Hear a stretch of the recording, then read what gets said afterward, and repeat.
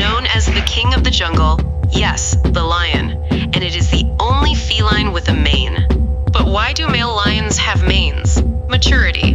The mane visually indicates the maturity and health of lions. It can vary in color, usually starting with a golden hue and becoming darker with age.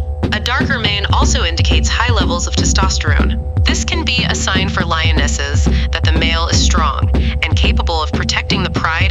cubs. Where the female studies have shown that the thicker and darker the mane, the more attractive it is to lionesses. This is an example of sexual selection, where certain traits become more common in a population because they are attractive to the opposite sex, as these lions are often more dominant and successful in reproduction. Protection. The mane can also offer protection in fights between males. It can help cushion blows and bites to vital areas like the neck and head.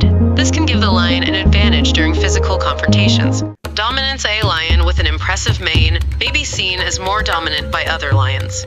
This can help avoid unnecessary fights, as other males may perceive him as stronger and choose not to challenge him. Climate. Interestingly, the mane can also reflect adaptation to the climate. In warmer regions or zoos, lions tend to have lighter and shorter manes, as denser manes can cause overheating.